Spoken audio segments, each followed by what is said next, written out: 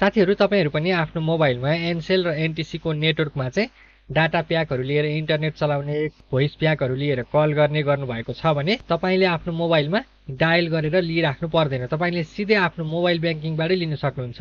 आजको यो भिडियोमा चाहिँ म तपाईँहरूलाई हामीले मोबाइल ब्याङ्किङबाट कसरी एनटिसी र एनसेलको नेटवर्कमा डाटा प्याक र भोइस प्याक चाहिँ कसरी लिन सकिन्छ यहाँनिर गरेर देखाउन गइरहेको छु। जस्तै सबैभन्दा पहिला आफ्नो मोबाइलमा मोबाइल ब्याङ्किङलाई खोल्नु होला जस्तै मेरो लक्ष्मी सनराइजको छ। म यहाँनिर यसलाई खोल्न गइरहेको छु। यहाँ क्लिक गरेँ। अब यहाँनिर आफ्नो आइडी र पासवर्ड राखेर यसलाई पहिला लगइन गर्छु। देख्न सक्नुहुन्छ यहाँनिर चाहिँ मेरो यो मोबाइल ब्याङ्किङ चाहिँ लगइन भइसकेको छ।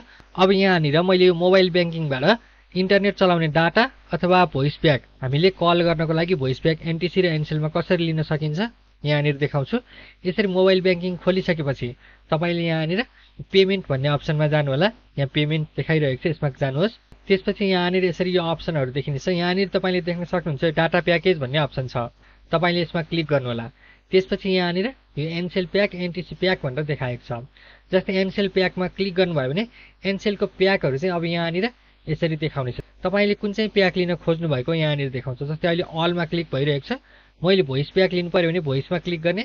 अब भोइस प्याक यहाँनिर देखाउनेछ कस्तो खालको लिने? यहाँनिरबाट तपाईँले हेर्न सक्नुहुन्छ। त्यसपछि डाटा भनेको छ। तपाईँले इन्टरनेट चलाउनको लागि हो भने यो डाटामा क्लिक गर्ने। यहाँनिर यो इन्टरनेट चलाउनको लागि डाटा प्याकहरू यसरी देखाउनेछ त्यसपछि अर्को कम्बो भनेको छ। यहाँनिर यस प्रकारले यसरी डाटा प्याकहरू रहेको छ। अब एनटिसीको लिनु पऱ्यो भने यहाँनिर यो एनटिसीमा क्लिक गर्नु पऱ्यो एनटिसी प्याकमा।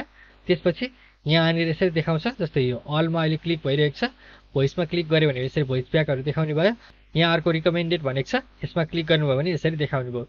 यस्तो किसिमबाट तपाईँले सजिलैसँग मोबाइल ब्याङ्किङबाट नै एनसेल र एनटिसीको नेटवर्कमा इन्टरनेट चलाउनको लागि डाटा प्याक र फोन गर्नको लागि भोइस प्याकहरू सजिलैसँग लिन सक्नुहुन्छ।